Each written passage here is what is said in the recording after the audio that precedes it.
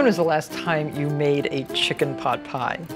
Pot pies have stood the test of time. Originally cooked on open hearths in Dutch ovens, they are the ultimate one pot meal. And this one is filled with a delicious combination of tender chicken and flavorful vegetables. Chicken pot pie is, I think, the perfect choice for a cold winter night. Now, the first thing to do is to cook your chicken. This is a three and a half pound plump, nice chicken. Uh, it's sort of a little bigger than most broilers and a little smaller than most roasters. Now put it in a large stock pot with water to cover. There, that's perfect. Bring it to a boil and then turn down the heat to a simmer. It's going to take about an hour to cook to 165 degrees on an instant read thermometer. Another thing to get ready are the vegetables. One medium onion that's peeled and cut into half inch pieces. One pound of Yukon Gold potatoes. Look how nice and yellow they are. Now these two are peeled and cut into about half inch pieces two or three carrots, depending on size, again peeled and cut into chunks, and two cups of rich chicken stock. And in this heavy casserole, I have five tablespoons of butter. And I'm gonna saute the onions first for a little bit, then add the carrots, and then the potatoes. And you just cook until they're tender.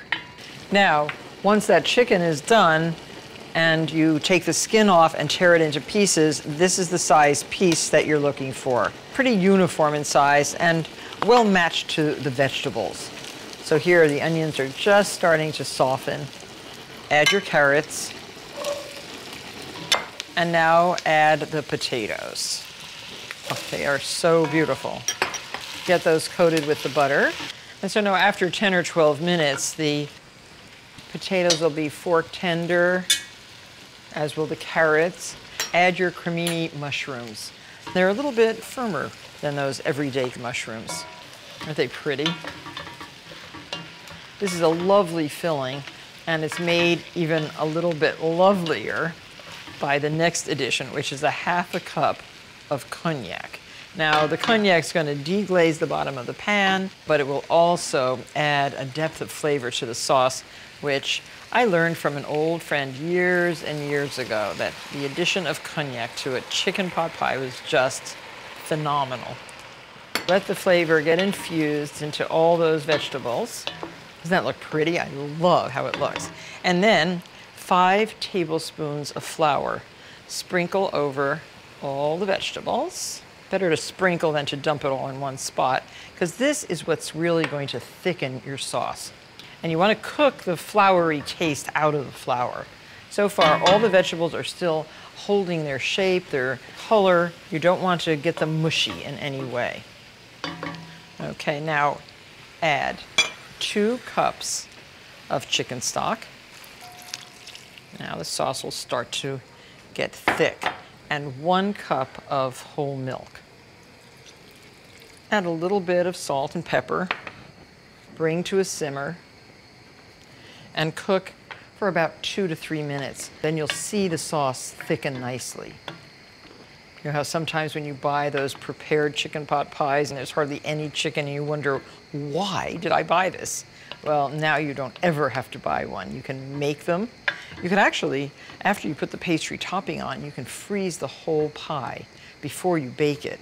And uh, you will have a fabulous meal for you and your friends or your family in the freezer. And we have one cup of peas. The little peas I like very much in this.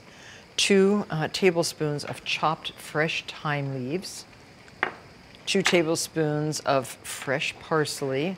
I use the flat Italian leaf parsley for this kind of cooking. And our chicken. And this is about two cups. Now it's nice and thick. Add the thyme add the parsley and the peas. Very colorful, very healthy, very pretty, and fragrant. Mm, those herbs really help. And then add your chicken. Now you can see why the homemade chicken pot pie is so superior to anything that you can buy. Look at all that chicken. Look at all the goodness that goes into the pot. Now season again with a little bit of salt. Of course, salt is good. And pepper. And our next step, fill the ramekins. Now this filling should be enough for six pot pies. And these are beautiful heavy duty ramekins, which are intended for souffles or pot pies like this. So put the solids in first. You can always fill with a little bit more of that delectable sauce. Now we're going to let them cool a little bit in the ramekins while we get the pastry ready. And we're using a pâte feuilletée, which is a traditional French puff pastry.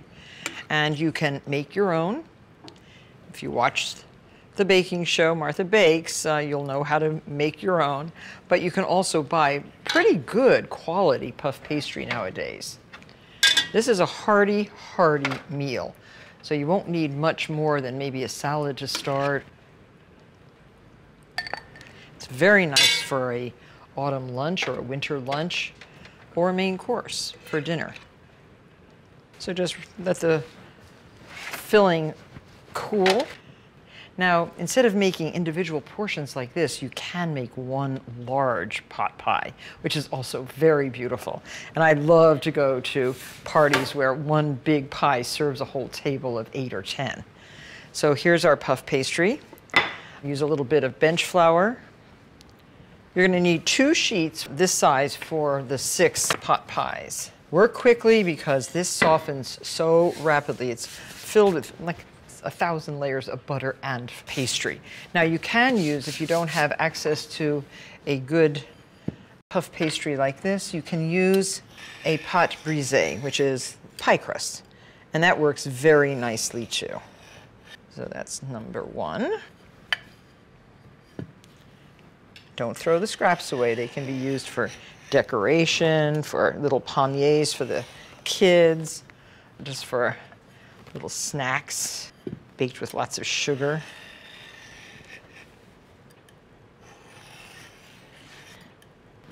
There, so now we have our three rounds.